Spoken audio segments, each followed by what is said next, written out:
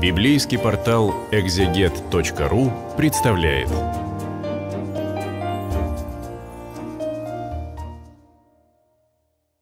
Двадцать седьмая глава книги Левит, последняя в этой книге, я читаю перевод Российского библейского общества для библейского портала «Экзегет».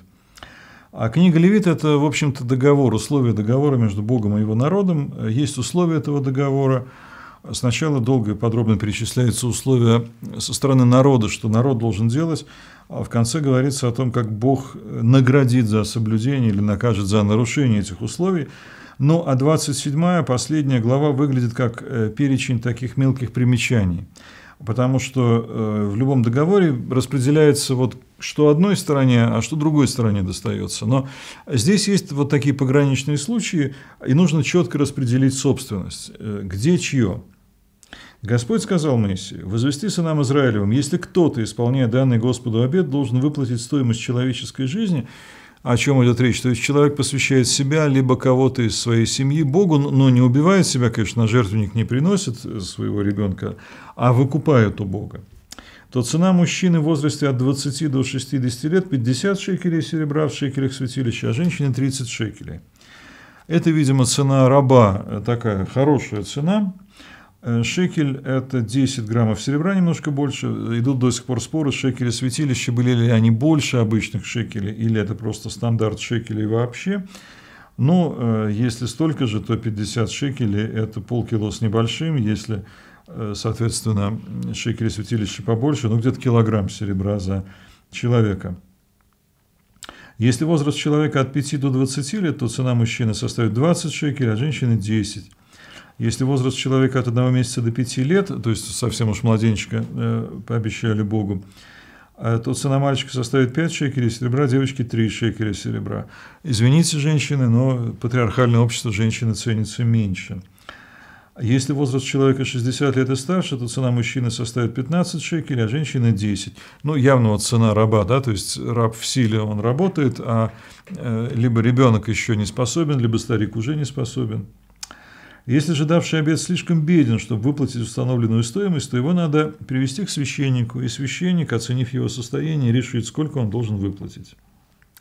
Если по обету отдает одно из тех животных, которых можно приносить в жертву Господу, то это животное, отданное Господу, становится святыней. Его нельзя заменить другим животным. Не отдать хорошее вместо плохого, не плохое вместо хорошего. Если давший обед все-таки заменит одно животное другим, то и обещанное животное, и то, которым его заменили, станут святыней. О чем идет речь? Ну, допустим, э, человек обещает Богу, что отдаст ему первое животное, которое у него родится в его стаде, да?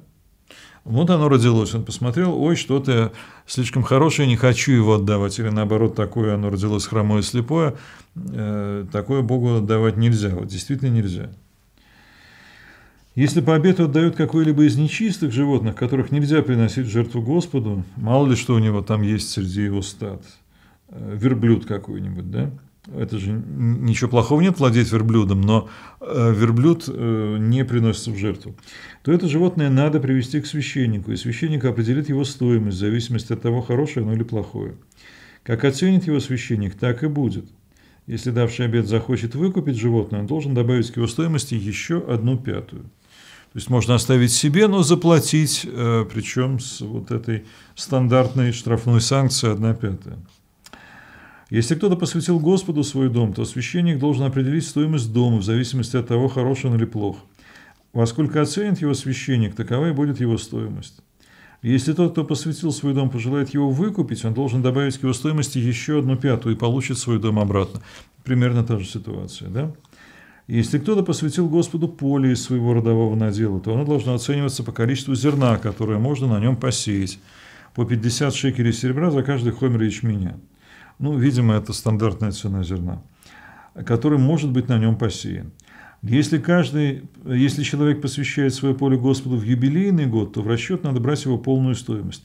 Я напомню, что юбилейный каждый 50-й год становится годом обнуления всех э, земельных договоров. Да? То есть э, земля продается, но фактически она передается в аренду до следующего юбилейного года. Поэтому юбилейный год – это на 50 лет – ближайших, а там дальше первый год после юбилея на 49 и так далее.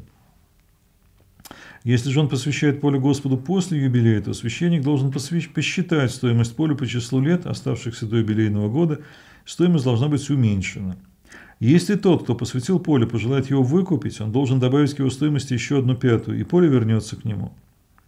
Но если он не выкупил поле или оно было продано другому, то это поле уже нельзя выкупить.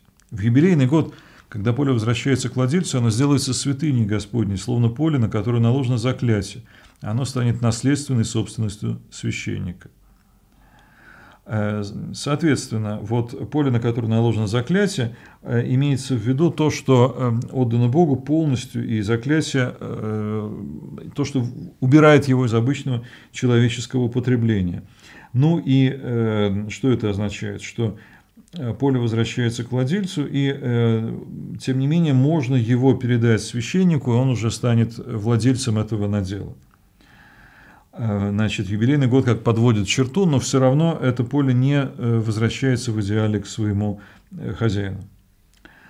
Если кто-то посвятил Господу купленное поле, то есть поле, не входящее в его родовой надел, пусть священник посчитает стоимость поля по числу лет до юбилея, и этот человек должен будет выплатить священнику стоимость поля в тот же день, это святыня Господня. А в юбилейный год поле вернется к тому, у кого оно было куплено, для кого оно родовой надел. То есть свое посвящать можно, оно останется навсегда – за священником чужое посвящать нельзя. Все цены определяются в шекелях святилища, в шекеле 20 гер.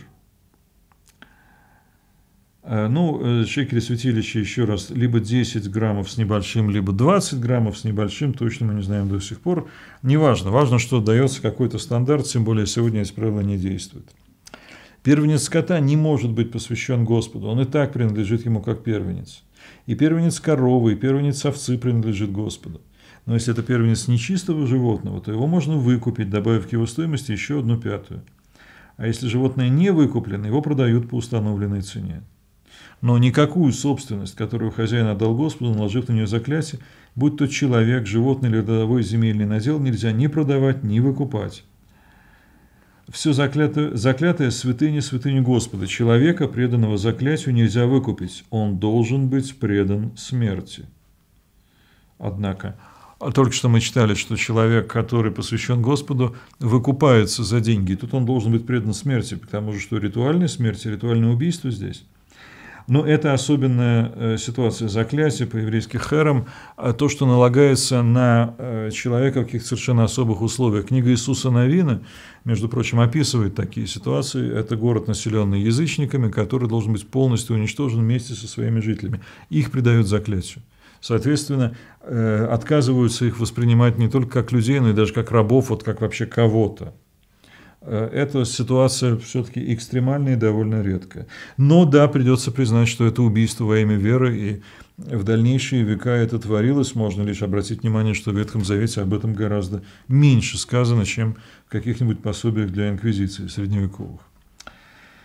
Все десятины того, что дает земля, урожай из полей и плоды деревьев принадлежат Господу, это святыня Господня. То есть это не добровольная жертва, какие бывают, и они подробно описаны в книге Левит, это его доля, это его вот ну, плата ему, что ли, за пользование землей, которую он дает израильтянам. Это часть условий договора. Если кто-то желает выкупить свою десятину, он должен добавить к ее цене еще одну пятую. Стандартная компенсация да, за э, выкуп или за компенсацию ущерба. Десятина от крупного и мелкого скота, каждое десятое животное, прошедшее под пастушеским посохом, это святыня Господня ну как посчитать э, животное, а вот его проводят там, выводя из ворот э, загона, да, и пастух э, каждого касается посохом, считает раз, два, дошел до десяти, десятое Господу. Соответственно, и от приплода десятины. Не следует отделять хороших животных от плохих и заменять одних другими. А если все же одно животное заменили на другое, то оба становятся святыни, они не подлежат выкупу. Значит, если пытались смошенничать, то отдают и то, и другое. Таковы повеления, которые Господь дал Моисею для сынов Израилевых на горе Синай. На этом завершается книга Левит, а длинная книга скучных и э, для нас сегодня совершенно, казалось бы, ненужных правил. Никто из христиан этого не исполняет. Я, правда, назвал одно единственное исключение. Это в православной традиции очищение женщины после родов. Выдерживается срок вот ровно из книги Левит. Странная вещь, единственная деталь ветхозаветного законодательства, которая перешла в православную традицию вот в прямом и непосредственном своем виде. Но это такой скорее анахронизм, а так книга Левит, казалось бы, для нас абсолютно не актуальна. Но, э, повторюсь, она не просто некоторый исторический справочник. Вот вы знаете, когда давно жили такие древние евреи, у них были какие-то странные обычаи, вот, вот их перечень. Да? Э, это рассказ о том, как, э, собственно говоря, Бог договаривается об особых отношениях со своим народом. Это выражается прежде всего в ритуале. Потом придут пророки и скажут, недостаточно исполнять эти ритуалы, нужно э, сердце отдавать Богу, а не десятину от э, всего там, включая анис и мяту, как потом будет в Евангелии сказано. Но э, для того, чтобы это прозвучало, нужно вообще понять о том, что некоторые вещи человек отдает Богу просто потому, что они Божьи и есть. Их надо отдать Богу. Потом это будет сказано. Э, Христом отдайте кесарю кесарева, а Божье Богу. Ну, то есть не просто пожертвуйте ему, уделите ему там от своих стад, а отдайте ему то, что ему принадлежит. Вот для того, чтобы это стало понятно, и что ему потом принадлежат не только барашки, но и сердце человеческое, вот для этого надо было начинать с этих вещей. Книга Левит с них начинает.